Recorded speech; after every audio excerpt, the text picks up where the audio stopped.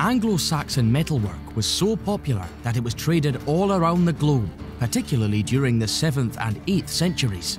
Metalworkers used gold, silver, bronze, and copper to make armour, weapons, jewellery, ornaments, tools, and household items.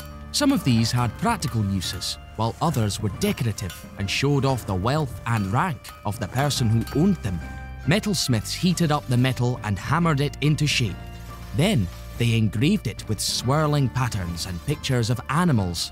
The most expensive items were made of gold and were sometimes inlaid with gemstones, such as garnet. Both men and women wore jewellery.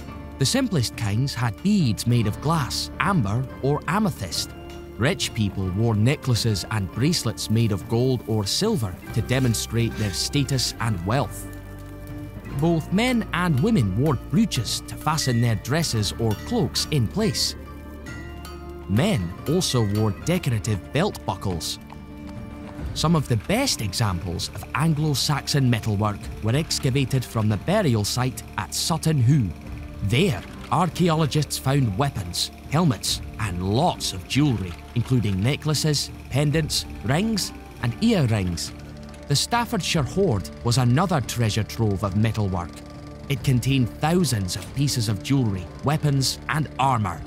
One of the most impressive examples of Anglo-Saxon metalwork is the Alfred Jewel. It was made for Alfred the Great, the King of Wessex, and was made from gold, enamel, and quartz. It shows just how skilled Anglo-Saxon metalworkers were.